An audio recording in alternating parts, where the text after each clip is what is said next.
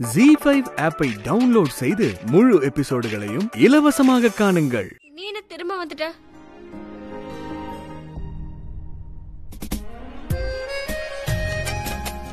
இன்னைக்கு உன்னை விட்டுட்டு போறதுக்கு மூடே இல்ல. ஓஹோ. அப்படியா? ஹவு ஸ்வீட் ஆனா ஏனே தெரியல எனக்கு என்ன தோணுதுன்னு தெரியுமா? என்ன? என்னன்னா? என்ன? என்னன்னா? என்ன? நீ உன்னோட கார் கீய மறந்துட்டேன்னு தோணுது. மறந்துட்டேன் தான் ஆ அப்புறம் என்ன? சும்மா எல்லாம் சீன் போடாத. விட்டுட்டு போக மனசு இல்லையா? ஸ்ட்ரைட்டா சொல்ல வேண்டியதானே ஏய், hello. கார் கீய மறந்துட்டேன். அதை எடுக்க நான் வந்தேன்னு ஒன்னும் சொல்லு. சும்மாலாம் சொல்லல ஓகே? நான் சொன்னதெல்லாம் உண்மைதான். எனக்கு உன்னை விட்டுட்டு போறதுக்கு மனசே வர மாட்டேங்குது. நிஜமாவா சொன்ன? ஆ. ஒரு நிமிஷம் yes coach I'm calling to confirm that நீ டைமுக்கு வந்துருவல்ல? Yeah yeah yeah coach I will be on time okay I will see you there. Bye coach call பண்ணிட்டாரு. ஆ ஆ. இப்பதானே எனக்கு போறதுக்கு மூடே இல்லைன்னு சொன்ன. சோ நான் என்ன யோசிக்கிறேன்னா ஆ, உனக்கு மூடு இல்லைன்னா போகாத. ஆக்சுவலி அது என்னன்னா நான் தான் உங்ககிட்ட கேட்டேன்ல. நீ தான் என்ன போக சொன்ன? கிரிக்கெட் விளையாடுறது இம்பார்ட்டன்ட் ரைட் எனக்கு மனசே இல்லை தான் ஆனா ஐ ஹாவ் டு நான் என் மனசை கட்டுப்படுத்திக்கிறேன். இரு. அப்படியெல்லாம் ஒண்ணு கட்டுப்படுத்தணும்னு அவசியம் இல்ல.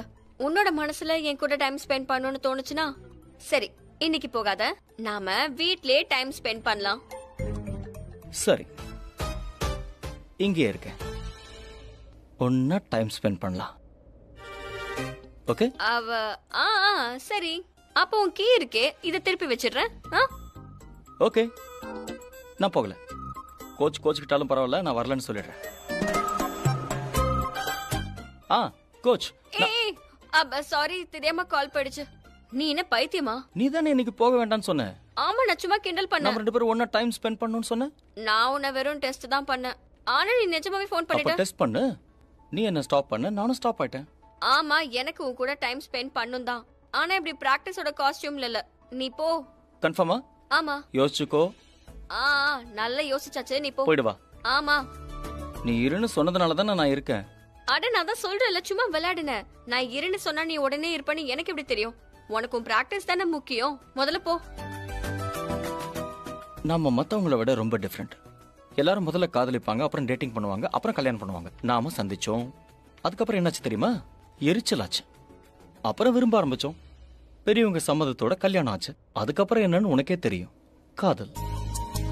அதுவும் எப்பேற்பட்ட காதல் தெரியுமா? வேற எதுவுமே கண்ணுக்கு தெரியாது. உன்னை தவிர. அப்ப இந்த காதலுக்கு கண்ணு படாம இருக்கணும்.